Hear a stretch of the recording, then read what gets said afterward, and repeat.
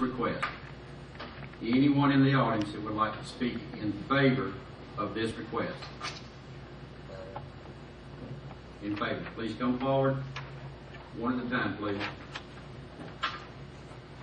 Give your name and address, sir. My name is Charles Miles, I live at thirty-two seventy-four Water Road.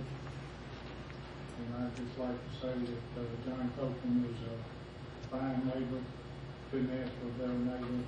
Absolutely have no qualms with, him operating the business or, or whatever his activity is back there at the present time. The only thing that I would ask the commission, if it's possible, that the zoning, uh, commercial is so broad, I don't know whether this is possible or not, but if they would consider limiting the activity to the present activity that's there, if that's possible, I'd like to press that.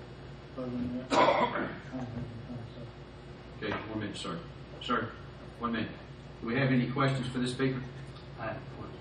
Okay, Ms. Page? What, sir, what's the activity going on there now that you said It's was just approved? repair, re- repairing, uh, tractors. Semi. Tractors and, and bulldozers, whatever, he was in the clearing business, to my knowledge, all.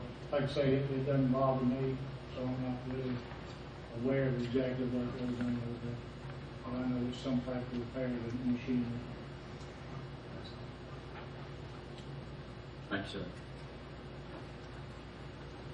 Is there anyone else that would like to speak in favor? Please come forward, state, state your name and address.